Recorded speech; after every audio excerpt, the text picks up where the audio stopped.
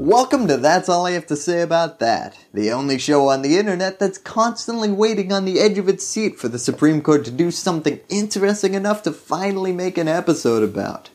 Now, I haven't been able to sink my teeth into a good legal brief for quite some time, and let me tell you, I'm hungry. On Monday, in a real be careful what you wish for situation, the Supreme Court delivered an out of the blue decision on green card rules. It's good to see that John Roberts' part time job as impeachment manager isn't affecting his day job. Today, my goal is to explain what this policy change is and provide the legal context for this ongoing fight. So, first, what's the policy? Well, that, right at the beginning, is where things start getting interesting. Because this isn't a new policy. In fact, it's barely even a new rule. It's simply a redefining of two words, public charge, from the Immigration and Nationalities Act of 1882. Yeah, even hipsters are calling this a little too obscure. To understand just what's going on there, we need to set this whole green card policy on simmer and talk about an equally obscure Supreme Court case from the 80s. Chevron versus National Resources Defense Council. That's right, this controversial immigration policy was brought to you by Chevron Texaco. They're against all green, whether it's energy or cards. I made an entire video about that if you want to learn more about the legal arguments and decision. Or just see what I look like with a 5 o'clock shadow and no dye. Casual Friday much? Now the problem this case was trying to address was that the act had a word in it, source, that wasn't listed in the definitions section. At the time, Congress just kind of assumed that regulators could figure out what a source is. I mean, it's a source. The problem emerged when the EPA said that a source is the entirety of a plant. You know, the source of the pollution. On the other hand, the National Resources Defense Council sued saying, whoa, whoa, whoa, a source can also be a specific part or addition to a plant emitting pollution. You know, the real source. In a not at all suspicious move, the oil company Chevron stepped in and said, you know what, we should really hear the EPA out on this one. Now this left the Supreme Court saying, we need to find the source. The question was, who gets to define undefined words in bills? Do we go off of what Congress would have wanted when they passed the bill? Source was defined in other sections of the bill we're debating. Should we use that definition of source? Or should we just let the regulators define what a source is? They ended up siding with Team Chevron EPA, which means that we continue today to Chevron defer defining undefined words to the regulators.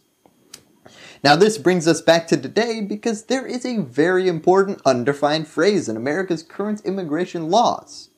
It says any alien, in the opinion of the consular officer at the time of application for a visa, or in the opinion of the attorney general at the time of application for admission or adjustment of status, is likely at any time to become a public charge is excludable.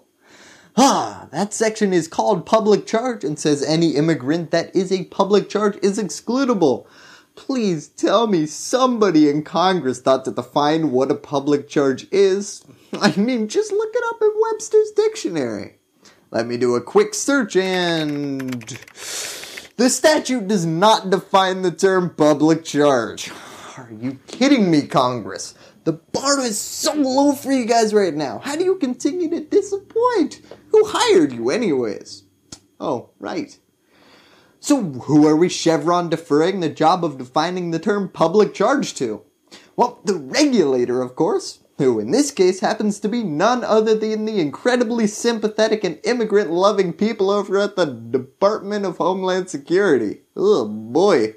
Today, USCIS, the agency I head as part of the Department of Homeland Security, has issued a rule that encourages and ensures self reliance and self sufficiency for those seeking to come to or to stay in the United States. That's right, screw you, Merriam Webster. Welcome to the Dictionary of United States Citizenship and Immigration Services head Ken Cuccinelli. So tell me, Ken, what is a public charge? Under the rule, a public charge is now defined as an individual who receives one or more designated public benefits for more than 12 months in the aggregate within any 36 month period. For instance, receipt of two different benefits in one month counts as two months.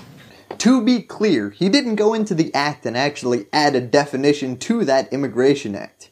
You'd need Congress to do that. What he did say was, as long as I'm the guy in charge of enforcing the rules, this is how I'm gonna define a public charge. Sounds legally pretty bulletproof, right? Well, it's at this point in my reporting that most of you are probably thinking, wait, wasn't this supposed to be a Supreme Court episode? Well, we're getting there. Oddly enough, nothing I've mentioned so far has any relevance to what the Supreme Court decided. This rule change redefining public charge was announced in August. And much like pretty much every policy this administration announces, they immediately got sued by a ton of different groups. And five injunctions were filed blocking the definition from becoming a rule. Now this brings us to today, because the question the Supreme Court was actually answering was, while this definition travels through the court system, can the Trump administration implement this definition? To go beyond beating a dead horse to just kicking a bottle of glue, I would like to reiterate. The Supreme Court did not just decide whether this rule is legal or not. What they did decide was that the Trump administration can implement this rule while we figure out whether this rule is legal or not. Now this brings us to two final questions in the OCD section of my mind. First, what is the legal standing of these temporary legal injunctions? And second, why did the Supreme Court rule that the injunctions cannot block implementation of this law for the course of the legal battle? Let's get started from the injunction that the Supreme Court was ruling on. Looking at the injunction out of New York, we see that the primary argument is that the definition is a large overstep of governmental authority. Specifically, the final rule drastically changes the process, far beyond statutory limits, to exclude from admissibility working individuals and families, their children, the disabled people of color, and other residents of plaintiffs' jurisdictions who are not likely to depend primarily and permanently on government support. Now, let me take this logic to the most extreme for a second. If the president were to say, we're no longer issuing green cards to Muslims because it's a public charge having to spend all that money profiling and monitoring them, and then they sue us and we lose the case, it's all very expensive to the taxpayers. That would be illegal because that's clearly discrimination over protected class. That's why the Muslim ban had to be rewritten to include North Korea and Venezuela. They function as the token black friend that makes the whole thing not racist.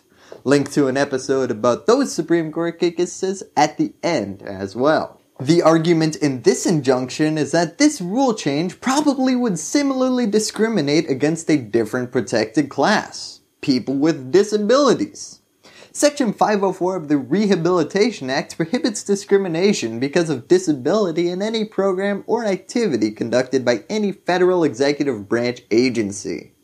Because disabled immigrants are much more likely to rely on some form of public assistance, it's not much of a stretch of the imagination that this will have a much larger negative impact on disabled people. Although, just because it's more harsh against one particular group doesn't make it discrimination. The Muslim ban is still much worse for Muslims than it is for all those North Koreans trying to get into America. You still need to prove specific discrimination. The final rule intentionally discriminates against individuals with disabilities by requiring DHS officials to consider an applicant's disability diagnosis that in the context of the alien's individual circumstances when it affects his or her ability to work, attend school, or otherwise care for him or herself. So that's the legal argument against this redefining of the term public charge. Now, 10 minutes into this video, let's get to the question most of you clicked on this video to get an answer to. Why did the Supreme Court just say that the public charge definition can be implemented while we figure out whether it's legal or not to implement that definition? The Supreme Court has lifted a nationwide injunction against a sweeping policy targeting low income immigrants. In a 5 4 ruling, the court approved the Trump administration's so called public charge rule. The decision in this case was written by Justice Gorsuch, and whew, man, did it read more like a blog post that you would delete once you sobered up than a legal opinion from the highest court. It was surprisingly emotional and didn't touch on any of the legal aspects of the case. Instead, it really just seemed to vent Justice Gorsuch's annoyance that district courts keep filing nationwide injunctions for every damn Trump immigration policy. I mean, one man can only listen to Solicitor General Noel J. Francisco present the same arguments for different policies so many times. Today, the court, rightly, grants a stay allowing the government to pursue, for now, its policy. But in light of all that's come before, it would be delusional to think that one stay today suffices to remedy the problem. The real problem here is the increasingly common practice of trial courts ordering relief that transcends the cases before them. This decision was filled with those passive aggressive parentheticals that read like, Okay, Gorsuch, tell me what you really think. Maybe take a lap before you finish writing it. Someone get Roberts back from impeachment to give the decisions a once over. His problem was that, when a district court orders the government not to enforce a rule against the plaintiffs in the case before it, the court redresses the injury that gives rise to its jurisdiction in the first place. But when a court goes further than that, ordering the government to take, or not take, some action with respect to those who are strangers to the suit, it is hard to see how the court could still be acting in the judicial role of resolving cases and controversies. Now, I realize that that's pretty confusing, but let me put it this way. One of the nationwide policy stomping injunctions came from the case of New York versus the Department of Homeland Security. Gee, that really sounds like an issue between New York and the Department of Homeland Security. He would ask, why are we getting a nationwide injunction? Get a New York wide injunction. In a foreshadowing move that's more ham handed than the hero's guardian coughing in Act 1, yep, that's gonna be cancer. Justice Gorsuch capped off this decision writing, it has become increasingly apparent that this court must, at some point, confront these important objections to this increasingly widespread practice. Not sure when that decision is going to eventually come, but it definitely looks like sometime soon the Supreme Court is going to take an axe to nationwide injunctions for local issues. Thank you, and that's all I have to say about that. Hello, YouTube! First, I'd like to thank my patrons for helping me put out my videos. If you want to support independent, nonpartisan news looking into the overlooked, join this growing group of exceptional individuals by clicking the link in the description. Also, remember to subscribe and ring that bell so that freedom will continue to ring. Here's my coverage of the Chevron versus NRDC case, and here's my two-part coverage of the Muslim ban case. This one goes over the oral arguments, and this one over here goes over the final decision. Give me a thumbs up if you like what you saw, and lastly, as always, thank you for watching.